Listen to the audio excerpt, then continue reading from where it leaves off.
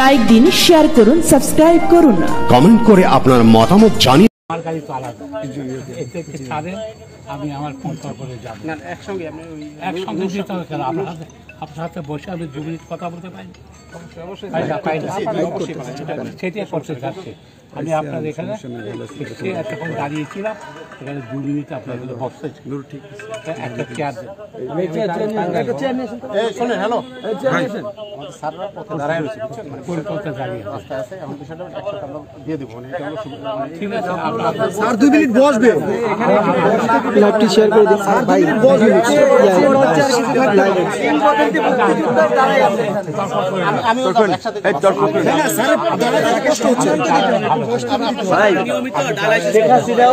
গেলে এক বলে ফাইল পাস করে দাও শেখ হাসিনা মন্ত্রীরা তো।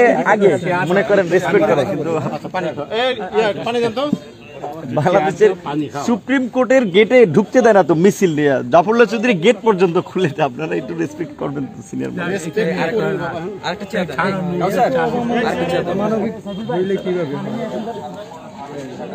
আমি জানি তো তোমরা আস্তে আস্তে বেরিয়ে যাও। তোমাদের লোকজন কোথায় আর কিছু হবে না। তোমাদের গাড়ি আছে? লাইভটি শেয়ার করে দিন জাফরুল্লাহ স্যার পুলিশ ফাঁড়িতে এসেছেন যখন তিনি শুনেছেন যে আমাদের পুলিশ ফাঁড়ি থেকে পুলিশ নিরাপত্তা দিচ্ছে না সেই মুহূর্তে জাফরুল্লাহ স্যার খবর পেয়ে এসেছেন এখানে। বিভিন্ন লোকমুখ সহ গণঅধিকার পরিষদের নেতৃবৃন্দকে কেন নিরাপত্তা দিচ্ছে না সেই বিষয়টা জানার জন্য। নিরাপত্তা এত ভয় পাও? এত মেনটেন করো? যাও গাড়িতে ওঠো। আমি আছি না ঠিক আছে? আমরা উঠবো ইনশাল্লাহ ওঠো যাও যাও যাও যাও তোমরা যা, আস্তে আস্তে ওঠো যাও যাও গাড়িতে উঠো, যাও ওঠো, আস্তে আস্তে ওঠো গাড়ি কত দূরে গাড়ি মেইন রোডে মানে সামনে কয়েকজন মেয়ে ছিল আইসা মানে মেয়েদের অন্য টোনা কাপড় চুট টাইনে বাঁশ দিয়ে ঘাই দিছে বাঁশ টোকালা বাঁশ কারণ- কারণ আমরা বেজিংয়ের কাছে যে বাসগুলো কেউ- গেছে সব আমরা দেখো বাংলাদেশকে ঠিক সেভাবে করতে চাচ্ছি না। আর আমরাও তো এখানে আমি আলাপ করতে চাচ্ছি আমাদের সমবেত সংঘবদ্ধ চেষ্টা ছাড়া এইসব তো পরিবর্তন হবে না।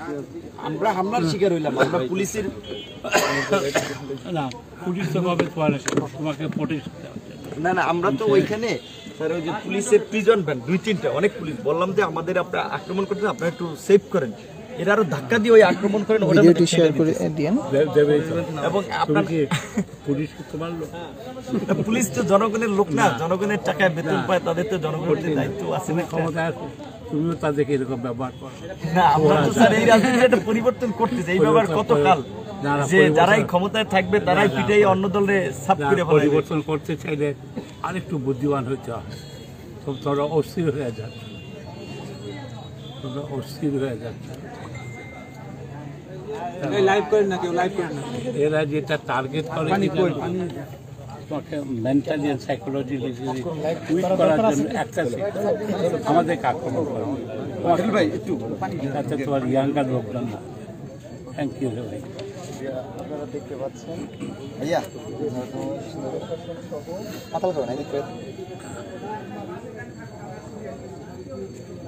অবাক হয়েছে সবচেয়ে। আমরা মাইর খেলাম। পুলিশ সে মিডিয়াতে বক্তব্য দিচ্ছে যে আমরা নাকি হামলা করছি ছাত্রলীগের উপর।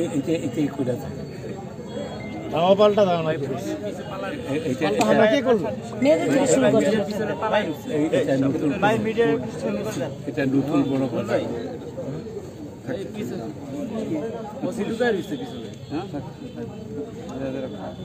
আপনারা জানেন যে আমরা মজুন জয়ন্ত মাওলানা ভাসানির পঁয়তাল্লিশতম মৃত্যুবার্ষিকী উপলক্ষে যখন তার মাজার প্রাঙ্গণে এসেছিলাম পুষ্পস্তবক অর্পণ করতে ঠিক সেই মুহূর্তে মাওলানা ভাসানী বিজ্ঞান ও প্রযুক্তি বিশ্ববিদ্যালয়ের ছাত্রলীগের মানিক শীল এবং তার সাঙ্গবঙ্গদের নেতৃত্বে একটা বিশাল গ্রুপ তারা কিন্তু দেশীয় অস্ত্রশস্ত্র এবং লাঠিসোঁটা নিয়ে আমাদের উপর আক্রমণ করে।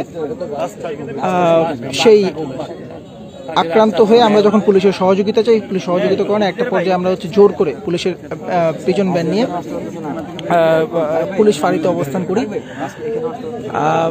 আপনারা জানেন, পুলিশ ফাঁড়িতে যখন আমরা অবস্থান করেছি, তখন হচ্ছে পুলিশের কাছ থেকে আমরা হচ্ছে নিরাপত্তা চেয়েছিলাম। আমাদের নিরাপত্তা দিয়ে যাতে করে তারা আমাদেরকে বিশ্ব রোড পর্যন্ত পৌঁছে দেয়। কিন্তু পুলিশের এসপি ওসি সহ ঊর্ধ্বতন সকল কর্মকর্তা আমাদেরকে বলেছিল যে আমরা যাতে নিজেদের মতো করে ফাঁড়ি থেকে চলে যাই তারা আমাদেরকে কোনো রকম ওই ধরনের নিরাপত্তা দিতে পারবে না। পরবর্তীতে আমরা বারবার রিকোয়েস্ট করেছি যে আমাদের অন্তত মেইন রাস্তা পর্যন্ত আপনারা এগিয়ে দেন নিরাপত্তা দিয়ে। তারা আমাদেরকে দিচ্ছিল না আমরা দুই ঘণ্টা এখানে অবরুদ্ধ অবস্থায় আছি। বারবার আচ্ছা তিন ঘণ্টা অবরুদ্ধ আছি। বারবার তাদের কাছে রিকোয়েস্ট করার পরও তারা আমাদেরকে কোনো ধরনের নিরাপত্তা দিতে যখন অস্বীকৃতি জানায় সেই মুহূর্তে এই ব্যাপারে খোঁজ খবর যায় ডক্টর জাফরুল্লাহ চৌধুরীর কাছে। আপনারা জানেন ডক্টর জাফরুল্লাহ চৌধুরী বাংলাদেশের একমাত্র অভিভাবক হিসেবে আমাদের মাঝে রয়েছেন। সবসময় আমাদের বিপদের কথা শুনলেই তিনি তৎক্ষণাৎ ছুটে আসেন। আজকেও একই ধরনের ঘটনার পুনরাবৃত্তি ঘটেছে। আজকে ডক্টর জাফরুল্লাহ চৌধুরী যখন শুনেছেন যে আমরা এখানে অবরুদ্ধ অবস্থায় আক্রান্ত হয়ে অবরুদ্ধ অবস্থায় রয়েছি সেই মুহূর্তে কিন্তু ডক্টর জাফরুল্লাহ চৌধুরী আমাদের খোঁজ নিতে বিপিন নুরুল হক নূরের খোঁজ নিতে কিন্তু এই কাকমারি পুলিশ আহ, চলে আসেন। এবং কাকমারি পুলিশ ফাঁড়িতে যখন উনি আসেন, তখন হচ্ছে ওনাকে পুলিশ ফাঁড়ি গেটে ঢুকতে দেওয়া হচ্ছিল না। এবং আপনার প্রায় উনি প্রায় বিশ পঁচিশ মিনিট গেটের বাইরে দাঁড়িয়েছিলেন রোদের করা রোদের মধ্যে। সেই অবস্থায় আমরা বারবার পুলিশকে রিকোয়েস্ট করি এবং উনিও রিকোয়েস্ট করেন যে উনি গেট খুলতে না দেখ যাতে করে পুলিশ এক মিনিটের জন্য হইলেও ওনার সাথে কথা বলেন। কিন্তু পুলিশ সেটাও করে নাই পরে অনেকক্ষণ রিকোয়েস্ট করার পর পুলিশ ওনার সামনে যায় একজন পুলিশ এবং কথা বলে কথা বলার পরে কথা। পরে হচ্ছে উনি গেটের ভিতর ঢুকেন। এবং এই পর্যায়ে এসে বসেন এবং হচ্ছে পুলিশের সাথে কথা বলেন আমাদের নিরাপত্তার ব্যাপারে। এই মুহূর্তে যখন পুলিশ তারপরেও আমাদের চাওয়া প্রত্যাশিত নিরাপত্তা দিবে না বা দিতে পারবে না বলে বলে তখন হচ্ছে ডক্টর জাফরুল স্যার আমাদের নিজে বলেন যে আমি তোমাদের পিছনে আছি তোমরা যাও দেখি কীভাবে কে তোমাদের আক্রমণ করে। এবং বলা যায় যে ডক্টর জাফরুল্লাহ স্যারের সাহসেই আমরা এই মুহূর্তে আমাদের যেই গাড়ি দিয়ে এসেছি আমরা সেই গাড়ি আনতে বলেছি এবং আমরা ডক্টর জাফরুল্লাহ স্যারের অভিভাবকত্ব বা গাইডেন্সেই আমরা এখান থেকে যাব প্রত্যাশা করছি। সো যে যেখান থেকে লাইভটি দেখছেন সবাইকে অনুরোধ করব শেয়ার করে দেওয়ার জন্য। আহ, আমরা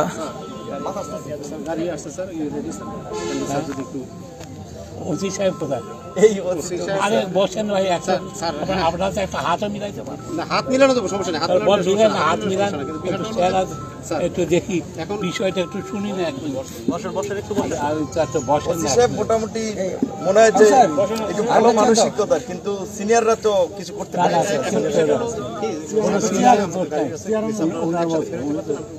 তো- উনি নিরুপায় বুঝতেছি ওনার আচরণে যে ওই যেখানে ওনার সিনিয়র মহিলা দেয় উনার পক্ষে তোমার বলা দরকার না। ওনার তো ওনাকে ওনার ওনার পরিচিত হতে চাই। ছুটিতে আছেন এইসব সময় ছুটিতে থাকেন।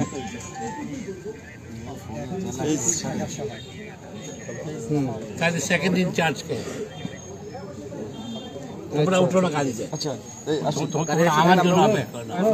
আমার চোখ তো আমি হ্যান্ডেল স্যারের নির্দেশে এখন আমরা গাড়িতে উঠছি।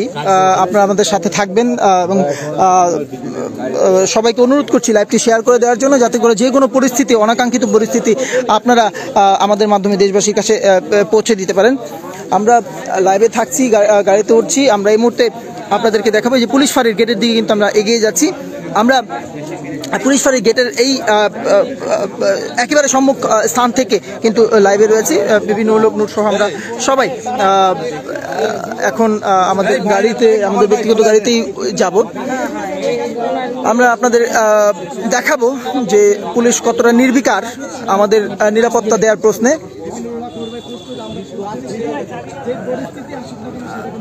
আমাদের গাড়ি আছে তো তিনটা।